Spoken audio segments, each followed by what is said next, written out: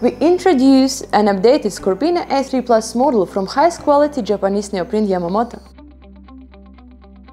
Neoprene from Yamamoto has a significantly higher thermal protection than neoprene from other companies. A simple design with 28 parts is created so successfully that it fits perfectly without excessive tension zones, thus providing the maximum thermal protection. The suit has open cell inside and the other cover is made of soft and durable nylon fabric. Seams are blind stitched and glued with a soft glue. Joints and seams crossing outside are straightened with polymer drop patches and inside reinforced with neoprene onlays. The weakest part of the wetsuit, the knees, are covered with additional Supratex material. Such knee pads are needed in order to protect spearfisher and expand suit durability.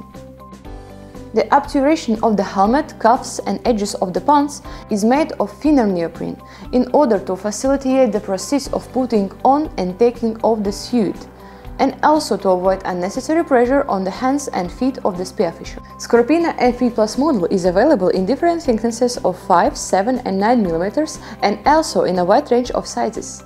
Subscribe to our channel and leave your question in the comments, we'll be glad to answer them.